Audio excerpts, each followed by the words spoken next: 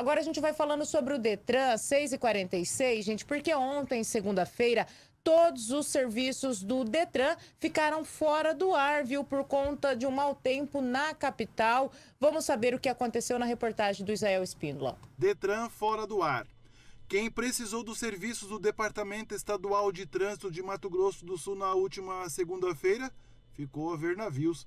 Isso porque a página do departamento na internet e além do sistema de tecnologia de informação estavam fora do ar.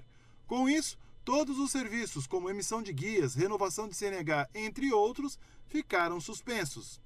E todo este transtorno foi por conta de uma descarga elétrica que atingiu o prédio do Detran. Isso mesmo, um raio tirou o serviço fora do ar dos 79 municípios do estado de Mato Grosso do Sul.